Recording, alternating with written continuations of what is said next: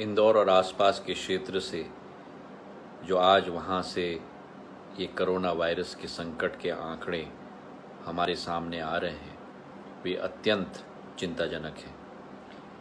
समय है संयम का, समय है कि अधिक सावधानी बरतने का।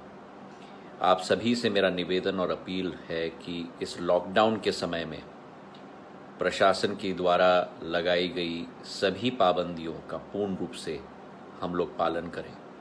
आप लोगों ने पूर्व में भी, जब भी कोई अवसर आया है संकट का, चुनौती का, सदैव एक जागरूकता और एक जिम्मेदार नागरिक होने का परिचय सदैव दिया है।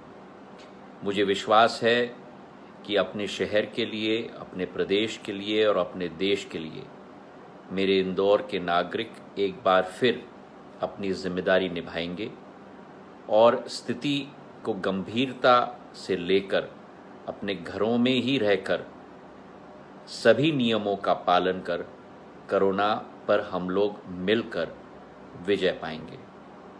मेरा आपसे अनुरोध है कि सभी घर पर ही रहें और सुरक्षित रहें।